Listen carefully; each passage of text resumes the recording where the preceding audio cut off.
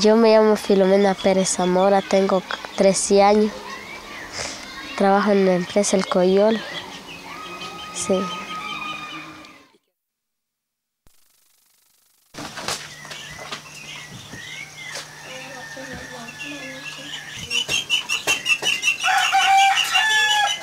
Mena vive en un pueblo de montaña al norte de un país de la región centroamericana. Cada día, de lunes a sábado y a la misma hora, su padre la despierta y mientras ella se arregla para salir, le prepara un café para desayunar y la comida que se va a llevar al trabajo. Mena tiene cinco hermanos y entre ella y su padre, que es peón albañil, mantienen toda la familia, un total de ocho personas. Con el salario de ambos apenas tienen suficiente para comprar comida y poca cosa más. Aunque solo tiene 11 años, Mena se ve obligada a mentir y decir que tiene más si no quiere que la echen del trabajo. En su país no se permite trabajar a los menores de 14 años. A pesar de que la ley regula la edad laboral de las personas, las empresas y la sociedad en general juegan a ignorar que la mano de obra infantil en el sector agrícola sobrepasa hoy en día la cifra de los 100.000 niños y niñas solamente en su país. Mena ha de caminar una hora para llegar al trabajo. Ha de ir sola, porque de todos sus compañeros y compañeras es la que vive más lejos.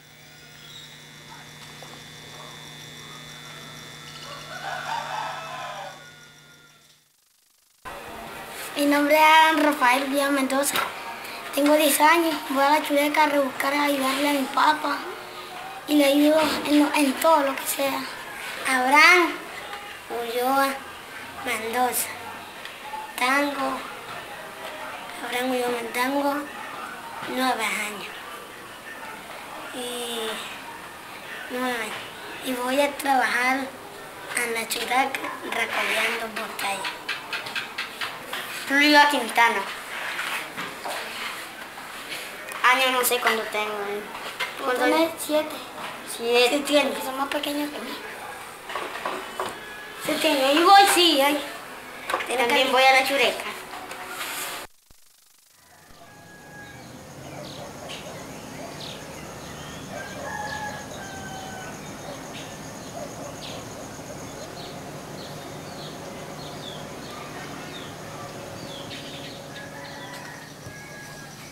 Payito. Payito. Abracito.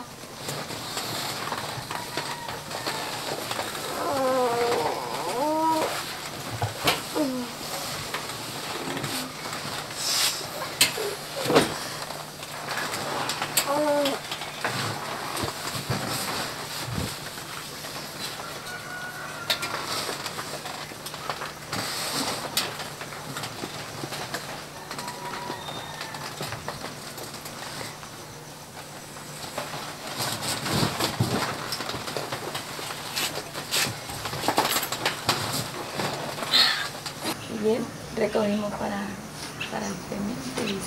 Rafael, Abraham y Julio son tres hermanos que viven en una capital centroamericana, situada a unos 400 kilómetros del pueblo de Mena. Se levantan cada día muy tempranito, a las 5 de la mañana, para ir con su padre a trabajar a la chureca. Trabajan seis días a la semana, de lunes a sábado, con un solo objetivo, ganar el dinero suficiente para comprar la comida de todos los días. Tres pesos de pan, una bolsita de café y media libra de azúcar. Cuatro de azúcar. Vale, Ahí te da, sí. No trae cinco pesos, pues. No sé de café caracol.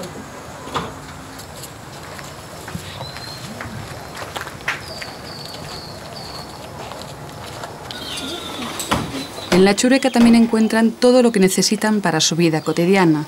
Ropa, calzado, cordones para las botas, juguetes. La suya es una familia amplia integrada por unas 10 personas, entre ellos parientes próximos que pasan por momentos difíciles. Aunque la situación económica familiar está muy degradada, ellos disponen de una vivienda propia y eso ya es mucho.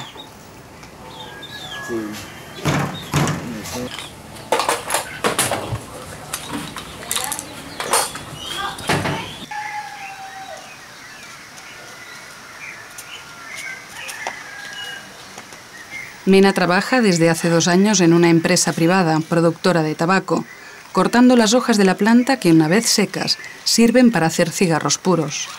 Trabaja de lunes a sábado. Empieza a las 6 de la mañana, para 15 minutos para comer y continúa hasta las 2 de la tarde.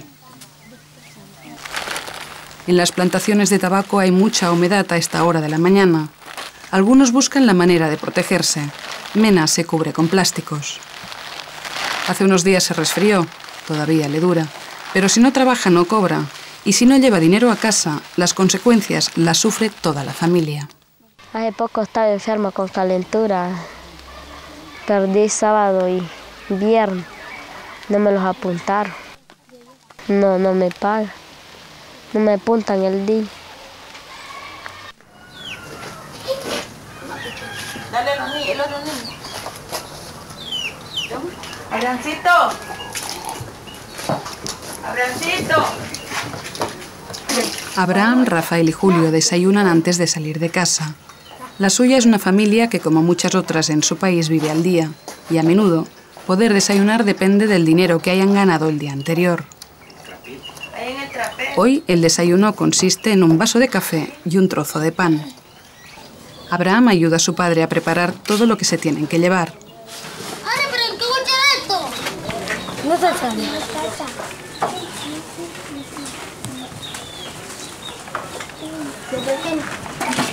Ya los alcanzo.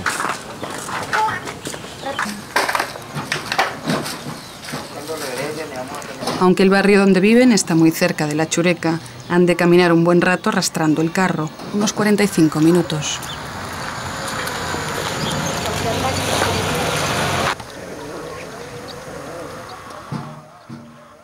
Nosotros vamos a una churaca a buscar la vida. A buscar la vida. Casi mi, mi papá no tiene trabajo. Mi mamá tampoco no tiene trabajo. Nos- Nosotros queramos que mi mamá tenga un trabajo. Para que nosotros ya no vayamos ahí, como decir, ahí en la churaca. Nosotros no queremos ir ahí en la churaca porque ahí algo aburrido y algo cansado. Con el solazo también. Con el sol te sentís mal. Porque te calienta todo y te nasas. Vas a crear como y nunca ha habido agua. Y eso es horrible probar. Y ahí en la churaca yo voy porque voy a buscarle la vida y le ayudo a mi papito a recoger botella y todo. Mayo, voy para allá porque ahí está regando la pipa. ¿Botaron de aquel lado, mira? ¿Y dónde lo ponemos siempre?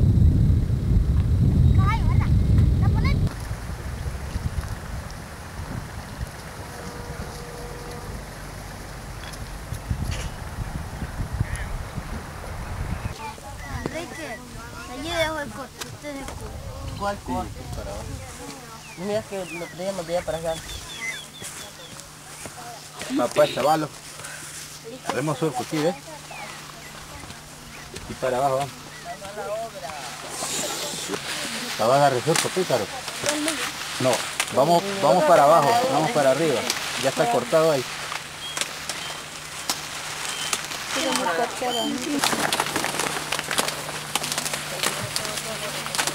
Rafael, Julio, Abraham y Mena forman parte de los más de 2 millones de niños y niñas de 5 a 15 años que realizan diferentes actividades laborales en América Central.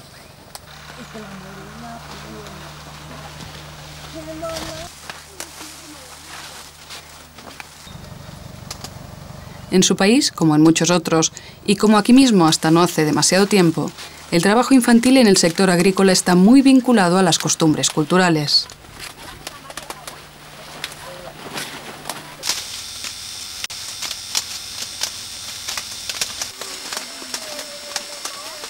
Tradicionalmente, los niños y las niñas han colaborado en los trabajos del campo, a menudo relacionados con pequeñas explotaciones familiares. Sin embargo, hace ya tiempo que su trabajo ha dejado de ser una participación en las tareas productivas de la familia, pasando a formar parte de las plantillas de trabajadores y trabajadoras de las empresas privadas.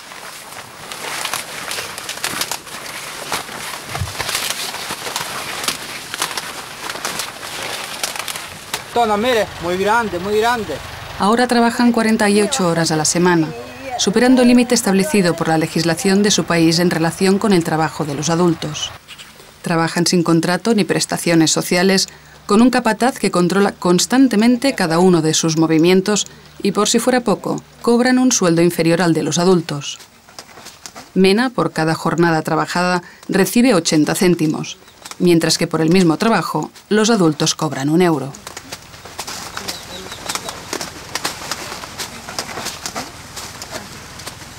¡Jaladora! Y yo lo encaminé más que vos. Porque yo, yo tuve que retopar a, a la otra mujer.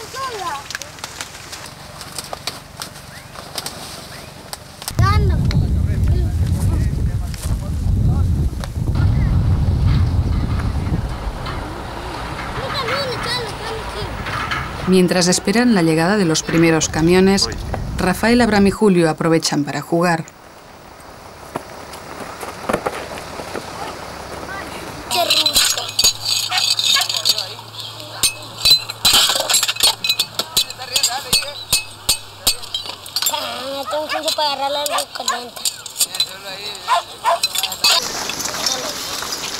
La Chureca es el vertedero central de una capital que ronda el millón y medio de habitantes.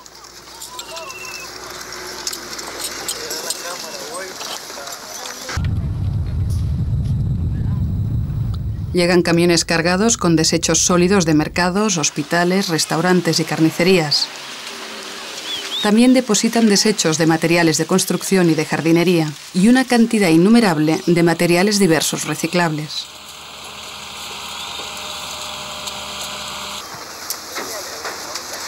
En total trabajan unas 500 personas de diferentes edades, a veces familias enteras.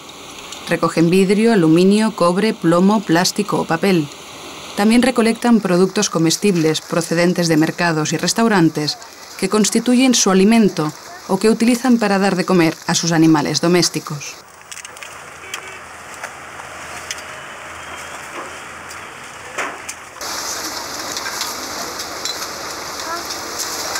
El calor es sofocante. La mayor parte del año la temperatura llega alrededor de los 38 grados y el olor de los productos orgánicos en proceso de descomposición es asfixiante hay que estar muy necesitado para trabajar en la chureca, pero es que las políticas neoliberales que se aplican desde hace ya unos años en la mayoría de países del sur han obligado a mucha gente a buscarse la vida para sobrevivir a la desesperación.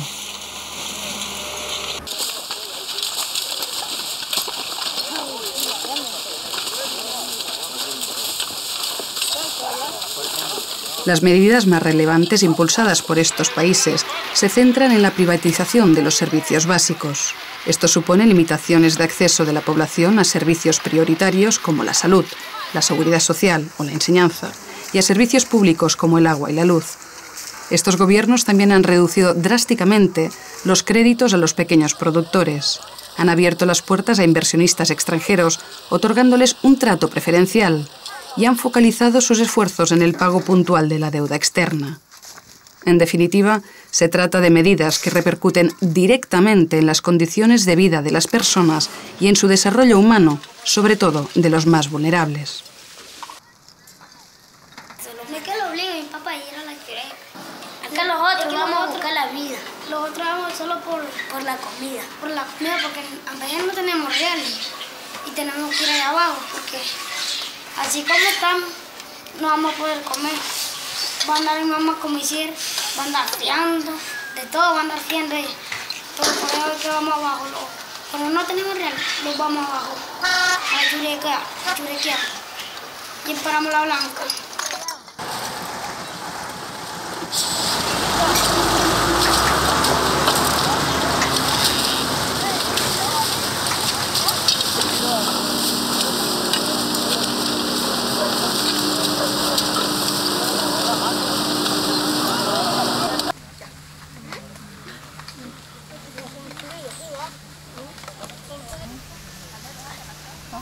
En la plantación de tabaco se hace una parada de un cuarto de hora para comer, a las 10 de la mañana.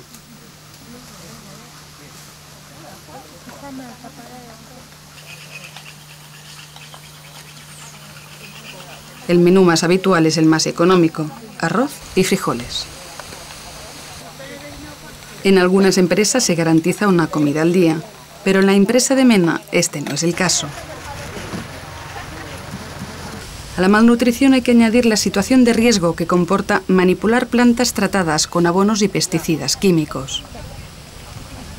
A Mena nadie le ha explicado que estas hojas están contaminadas y que estar en contacto con ellas tantas horas al día puede producirle algunas enfermedades.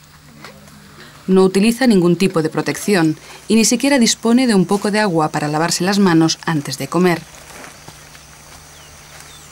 Además de carencias y problemas importantes de crecimiento físico, estos niños y niñas también tienen dificultades de desarrollo personal, psíquico y social. Mena ha aprendido a relacionarse con los demás a partir del trabajo, en vez de en la escuela o a través de los juegos. Pasa la mayor parte del día entre niños que trabajan y adultos que le dan órdenes y la vigilan sin pedirle nunca su opinión, y al mismo tiempo carga con la responsabilidad que supone saber que su trabajo es imprescindible para su familia, que depende de ella a nivel económico. Y todo esto con solo 11 años, porque tiene 11 y no 14 como ella afirma para mantener el trabajo. Y es que resulta más rentable emplear a una menor que a un adulto. En este caso es evidente, Mena se mueve entre las plantas con más facilidad que un adulto, y teniendo en cuenta que las hojas del tabaco son muy delicadas y quebradizas, es una gran ventaja. Por otra parte, ya hemos visto que cobra menos que un adulto y que además nunca se queja de nada.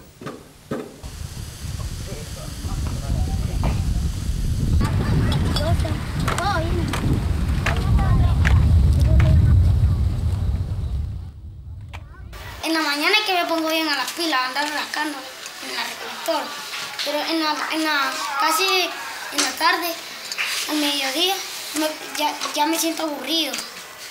Pero en la blanca, donde me pongo más las pilas.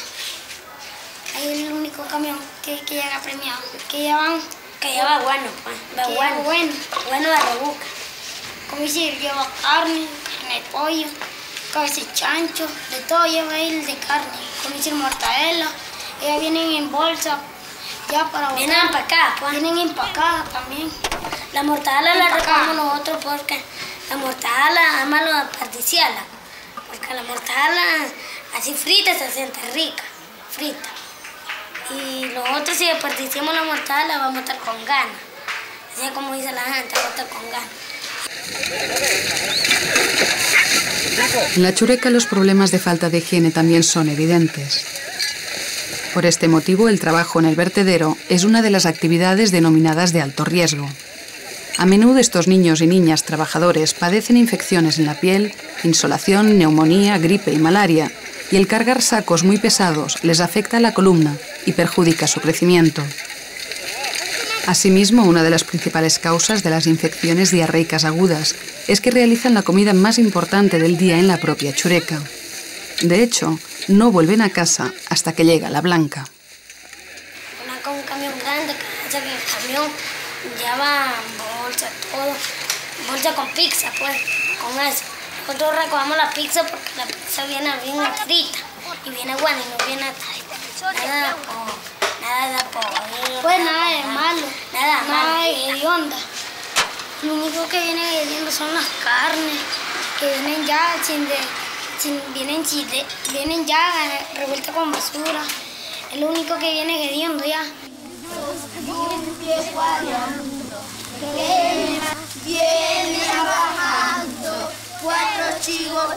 Algunas empresas, bajo presión del Ministerio de Trabajo, han organizado escuelas gratuitas para los niños y niñas que trabajan en las plantaciones de tabaco, con un horario adaptado a su jornada laboral. Pero la mayoría de las maestras no pueden desarrollar el programa establecido por el Ministerio de Educación por la falta de concentración de los niños. Se limitan a hacerles jugar. Sin embargo, los hay que están tan cansados que no tienen ánimo ni para hacer una carrerilla.